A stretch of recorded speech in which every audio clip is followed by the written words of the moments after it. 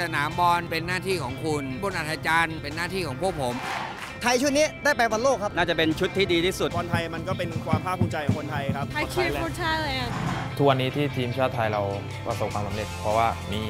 ผู้เล่นคนที่ 12 หรือว่าแฟนบอลชาวไทยของเรา คอยให้กำลังใจพวกเรามาโดยตลอด